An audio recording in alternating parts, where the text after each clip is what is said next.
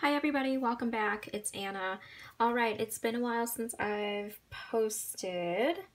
Um, previous journal shares were things that I had pre-filmed right before the big move. Um, and I'll probably do a, an update video. Um, but in the meantime, I do want to share currently some recent junk journal inserts that I've made. Um, just because I probably will jump right into using them pretty soon. Just because in my current journal, I've just got one of these um, like mixed media um, inserts from Michaels in there, and it's pretty thin, um, just because that's just kind of what I've had lying around. Um, but I don't know, I've just been kind of on a junk journal kick lately. Um, mostly because I found some fun things at um, a couple of estate sales. Um, that really just kind of got my creative juices going. I just really wanted to make some junk journals and use up more of my papers and materials because you guys know that I've been, this has been going on for like a couple, three years now, where I've really made an effort to use up things that I've had. And I've been pretty, uh, pretty good at using up papers um, to make junk journals. If you've seen some of my previous junk journal flips of things that I've made and um, and that really got me going with like just wanting to simplify and use up things that I have. Now especially I have a craft room now so I'll probably be doing uh, I'll be doing a craft room tour soon I have everything unpacked um, everything and that really opened my eyes to like still how much stuff I have left Anyway, so um, before I get like too chatty, I wanted to show you, I've made two Traveler's Notebook sized inserts. Um, and then a third one uh, that I made for my niece, which I might be doing a separate video for. And then I have one that's still kind of being put together. I'm gathering papers for it. But, um, so these are the two inserts. These are, the covers are made from just simple scrapbook paper that I had um, they were like a 10 for 1 sale at Michael's or Joann's a while back, and um, I just thought they were really pretty and they were kind of perfect for spring and summer. So um, I decided to make those the covers. I'll start with the bird one. Um, I really love the cover of this. So I definitely wanted to use that as the front of the insert.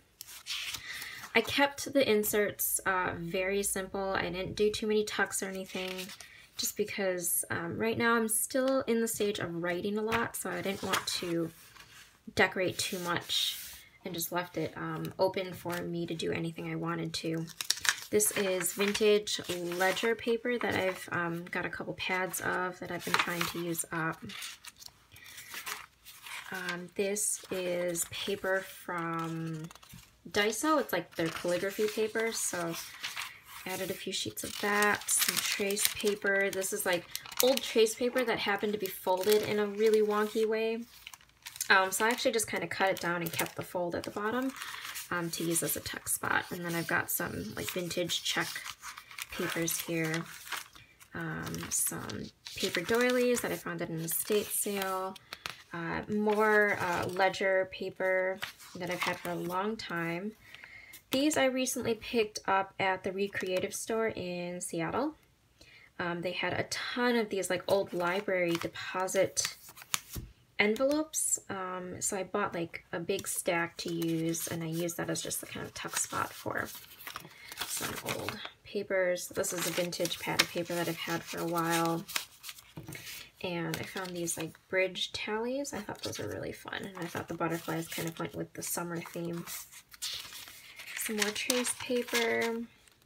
An old dictionary page that I ripped out of a, an old dictionary that I picked up recently. This is old ledger paper as well that I've had for a long time. I love ledger paper.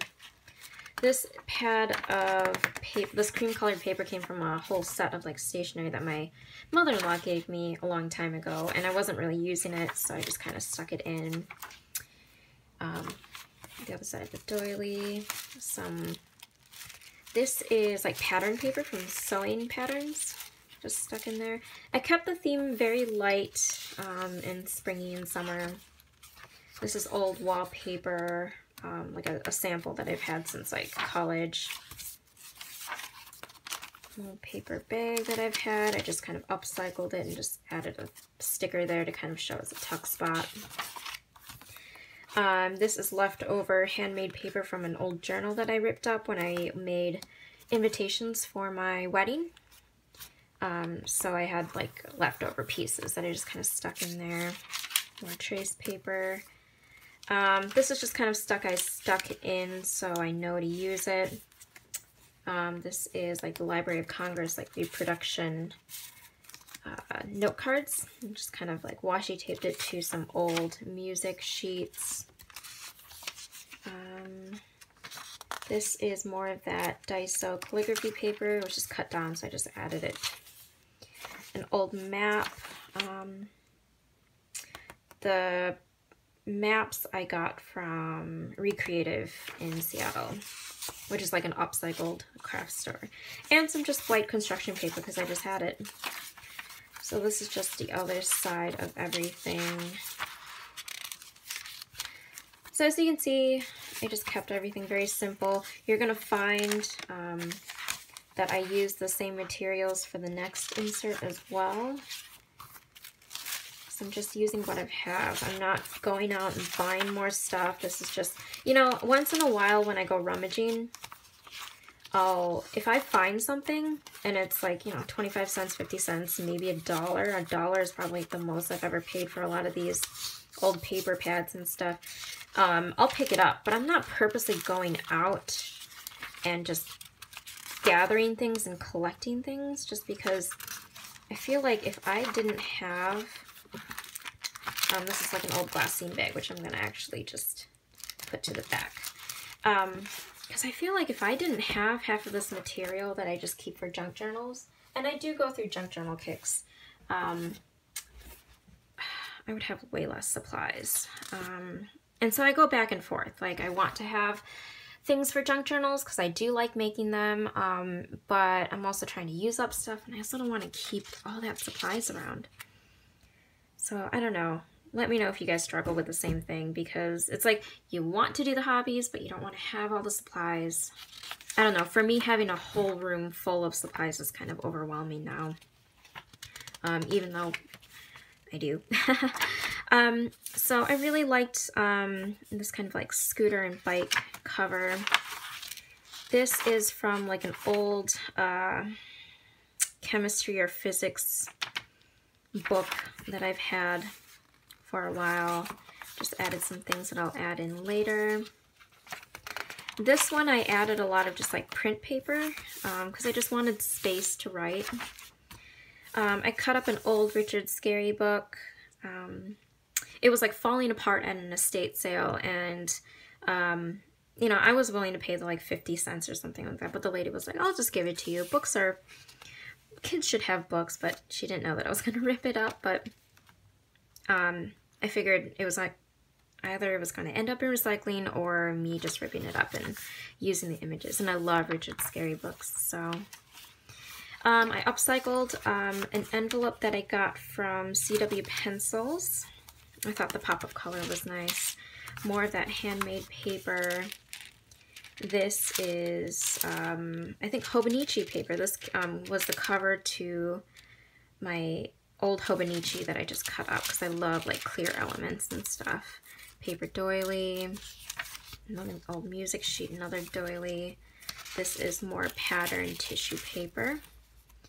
Um, I found a pad of old like bridge um, score sheets. Um, so I just kind of glued that on to the ledger paper, tissue paper here.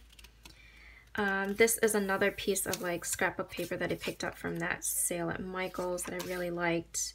And I had that left over, so I just kind of stuck that in. More ledger paper. I'm not neat about my junk journals either, because as you can see, the edges are not like lined up or anything. I like them kind of sloppy. I don't know, it just doesn't have to be perfect for me when I make junk journals. Tuck spot here, some more print paper So lots of spaces to write. This is just um, a 6 by 6 square of scrapbook paper that I've had for a while, so I just stuck that in. Another upcycled envelope that I had left over.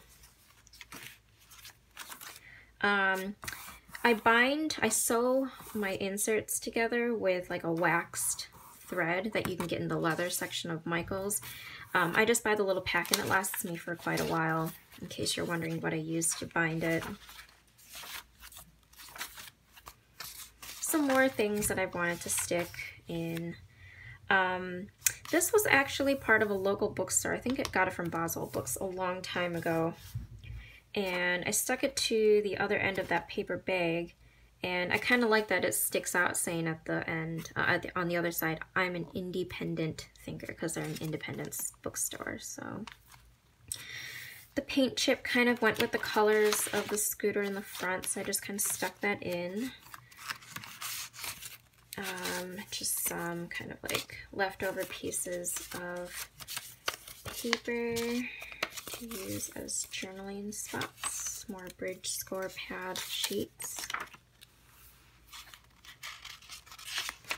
So, I mean, it's nothing elaborate, but I'm using things up, and I'll still enjoy using it.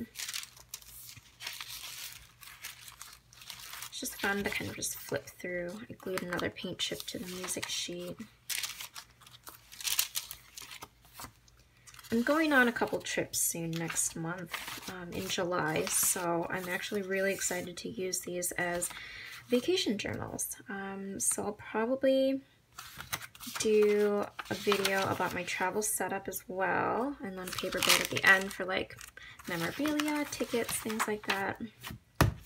There we have it, two finished journals um, that I am really excited to move into. So stay tuned for that. Otherwise, thank you so much for watching, and I will see you in the next video. Bye!